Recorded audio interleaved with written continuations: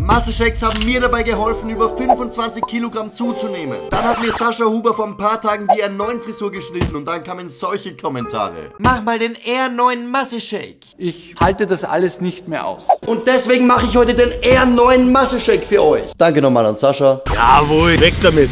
Als erstes braucht ihr natürlich einen Mixer. 300 Milliliter Granatapfelsaft. 200 Gramm Ananas.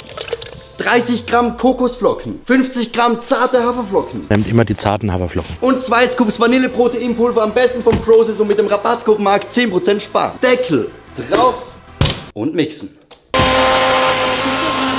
Wir haben jetzt 1000 Kalorien und 61 Gramm Proteine. Prost, rein damit. Sehr, sehr süß. Ich empfehle euch, macht auf jeden Fall noch 100, 200 Milliliter Wasser rein, aber kann man sich auf jeden Fall gönnen. Weg damit.